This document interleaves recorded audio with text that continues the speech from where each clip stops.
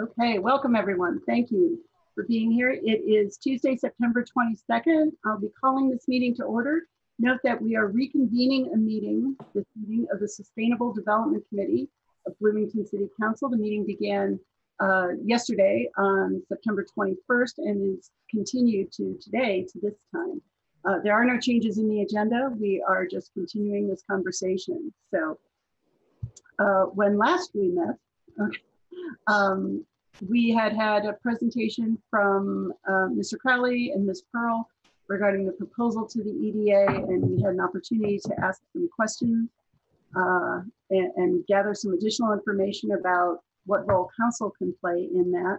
Uh, since that time, um, Mr. Crowley and I have worked together on a draft letter that could be sent on behalf of this committee, if that is the will of this committee.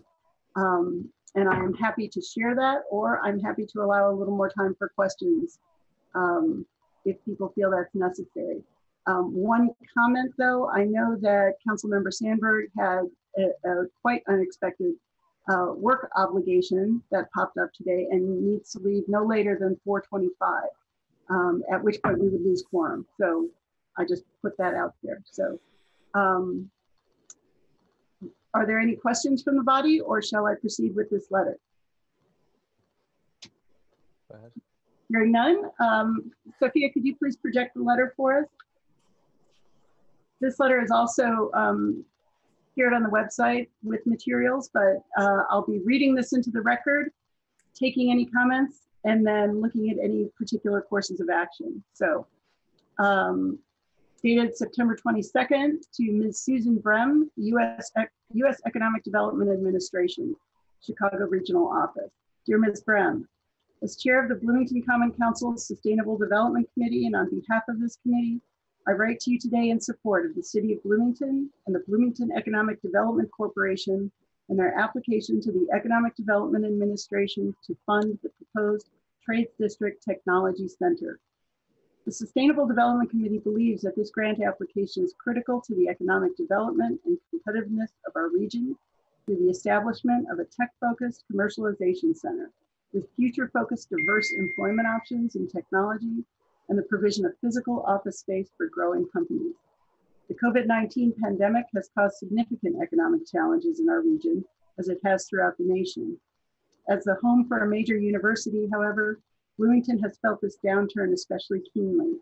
In ordinary times, our region has depended heavily on robust tourism activity and the presence of 40,000 plus students as primary drivers of our economy. As we look ahead to a post-COVID environment, the Trades District Technology Center will further diversify our employment base, accelerate the growth of the region's burgeoning technology center, and allow us to further retain Indiana University student talent post-graduation in and around the region and state. In addition, the proposed placement of the Technology Center within one of Monroe County's four opportunity zones will stimulate additional private development within these important investment zones. The City of Bloomington and its Redevelopment Commission and the BEDC will be excellent stewards of the Trades District Technology Center project, and I strongly believe it will have a positive impact on the economic competitiveness of the region. This grant application has my full support and that of the Common Council's Sustainable Development Committee. Thank you for your time and consideration. Sincerely, Steve Sgambelluri, Chair, Sustainable Development Committee, Bloomington Common Council. Madam Chair, you probably have already caught that there's a typo in there. There's a leaving out of the word of between that number of 40,000. Yeah, thank you. Other than that, I see nothing in that letter that I would suggest we change. Looks pretty solid to me. Councilmember Flaherty, any comments from you? Uh, no, I think it's a nice letter, um, and yeah, I appreciate the the continuing of the meeting to, to have a little more time to review materials and uh, get something in writing for us all to consider and vote on. Um, I think it all looks good. Are we ready for a motion, Madam Chair? I would move to approve the letter of support and authorize the committee chair to sign the letter on behalf of the Sustainable Development Committee. Second. Thank you. Um, we, we do a roll call vote on Zoom. Councilmember Sandberg. Yes. Councilmember Flaherty. Yes. Councilmember Volan is not with us today, I will add my vote as yes. Um, Thank you all for that. We will move forward with sending the letter.